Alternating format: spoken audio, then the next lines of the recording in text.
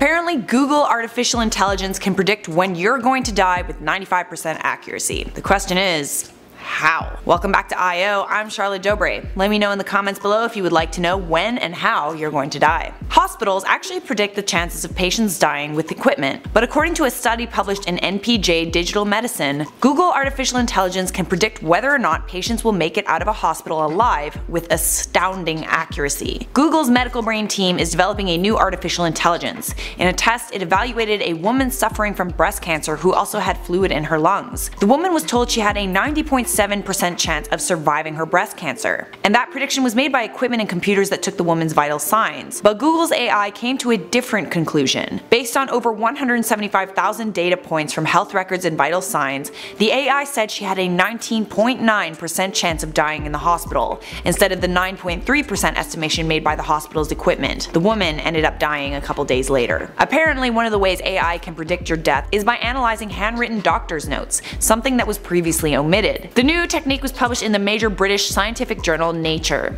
It's believed that this new AI is extremely accurate, more accurate than old techniques at determining a patient's likelihood of death, as well as things like whether or not they will be readmitted to the hospital, prolonged hospital stay, and discharge diagnosis. So despite the fact that this AI could be really useful, I don't know how I feel about it. On the one hand I'm like, okay, if I were in the hospital and I had a relatively high chance of not making it out alive, I would probably want to know. That way I could spend time with my family and loved ones and maybe say things that need to be said or do things that need to be done before I die. But on the other hand, I feel like finding out that you've got a high chance of dying might make you lose hope. Miracles do happen after all, and a lot of the time it's because the patient remains optimistic. And there are some other problems with this AI too. Some experts like Dr. Varshavsky believe that there's an underlying risk on relying on predictions or assessments if the AI computer data isn't as reliable as we think. He further said that machines make mistakes and sometimes they make mistakes based on faulty data. That being said, the self-learning AI algorithm can detect things like skin cancer with way better accuracy than humans, so as a preventative measure is very valuable. Alright guys, that's all I have for you on that. Let me know what you think in the comments below, but for now I'm gonna respond to some of your previous comments. Quagmire said, Rebecca and Charlotte are the only reasons I watch these videos. They add humor so they are not as boring. Also both are just so darn cute. Oh, Quagmire, you're just a charmer, aren't ya?